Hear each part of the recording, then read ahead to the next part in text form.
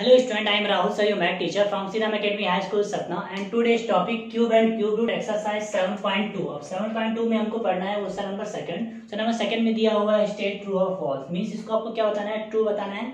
कौन से आपके ट्रू हैं कौन से आपके रिमाइनिंग फॉल्स हैं? तो फ़र्स्ट नंबर हम पढ़ते हैं cube of any odd number number means क्या हुआ? Cube of any odd number मतलब आप किसी भी ऑड नंबर का अगर आप क्यूब फाइंड कर रहे हैं तो उसका आंसर इस इवन नंबर में आता है क्या? तो हम यहाँ पे सॉल्व कर लेते हैं। जैसे मैं आपको बता रहा हूँ कि ट्रू फॉल्स हमको क्या करना है? डायरेक्ट आपको नहीं बताना है।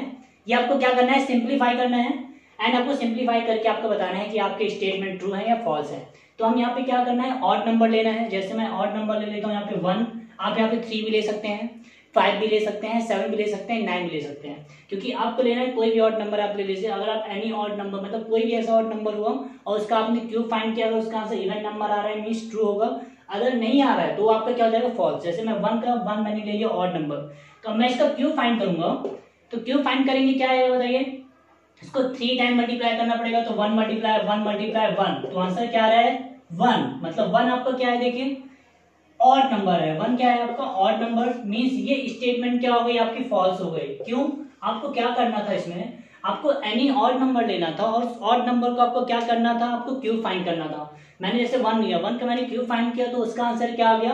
वन आया। और वन आपके मन में सर यहाँ पे थ्री आएगा।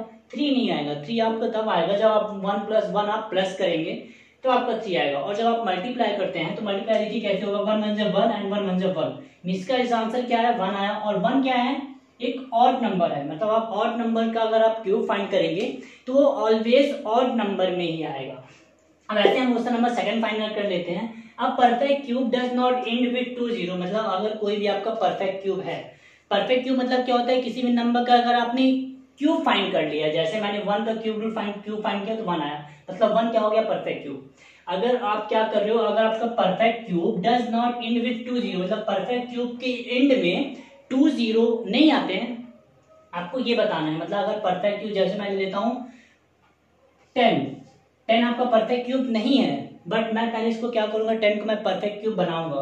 कैसे बनाऊँगा? टेन का मैं क्यूब फाइंड कर लूँगा। टेन का मैं क्यूब फाइंड कर लेता हूँ तो क्या आता है? Ten multiply ten multiply ten multiply करेंगे, क्या आएगा? वन थाउज़ेंड और वन थाउज़ेंड क्या है बताइए? वन थाउज़ेंड आपका एक परफेक्ट क्यूब है। अब आप देख लीजिए, इसके एंड में कितने ज़ीरो है? एंड में देखिए नंबर ऑफ़ ज़ीरो कितने one two three number of zero कितने यहाँ पे? थ्री ज़ीरो है। मतलब इस स्टेटमेंट में जो कहा गया है, वो क्या है? राइट है। क्यों? क्योंकि दिया गया है परफेक्ट क्यूब आपका जो नंबर होगा परफेक्ट क्यूब के एंड में टू ज़ीरो नहीं आता है। तो आप यहाँ पे देख लीजिए, इसके स्टेटमेंट में टू ज़ीरो आ रहा है कि नहीं आ रहा है? इसमें कितनी ज़ीरो है? नंबर ऑफ़ ज़ीरो क्या है? टू है। मतलब does not end not two zero इसमें टू ज़ीरो नहीं है।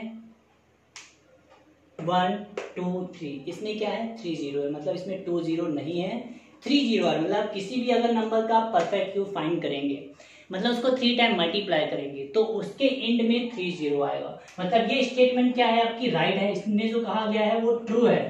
क्यों? क्योंकि अभी हमने फाइंड किया और उसके एंड में यहाँ पे क्या आ गया? Does not end two zero two zero नहीं थ्री ज़ीरो आ रहा है। अब ऐसे हम बताते हैं फिफ्थ नंबर में देखिए फिफ्थ नंबर में आपको क्या करना है। मैंने इसमें थर्ड नंबर फोर्थ नंबर नहीं दिया, क्योंकि आप वो भी स्टेटमेंट को क्या करोगे सिंप्लीफाई करके आपको ट्रू फॉल्स बताना है।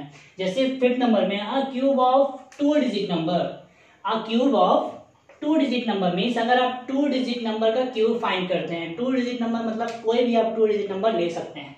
तो मे भी हो सकता है थ्री डिजिट नंबर मतलब अगर आप किसी भी टू डिजिट नंबर अगर आप उसका क्यों फाइंड कर रहे हैं तो मे भी शायद वो, शायद मे भी मतलब हो सकता है कि उसका आंसर किसमें आ जाए? थ्री डिजिट नंबर में। आ सकता है क्या? ये हमको क्या करना है? पहले हम इसको चेक करेंगे। चेक करने के लिए पहले मैं यहाँ पे लूँगा टू डिजिट नंबर तो टू डिजिट नंबर में क्या लेता हूँ यहाँ पे, देखिए। सबसे स्मॉलेस्ट टू डिजिट नंबर लूँगा। आप इसमें से कुछ भी ले सकते हैं स्मॉलेस्ट नंबर बट मैं यहाँ पे स्मॉलेस्ट नंबर में टेन क्यों ले रहा हूँ? मैं आपको बता रहा हूँ। क्योंकि टेन का आपको पता है कि मल्टीप्लाई में क्यूब फाइन करूँगा और वो आपको पता चलेगा कि क्यूब से टेन का तो क्यूब वन थाउज़ेंड होता है।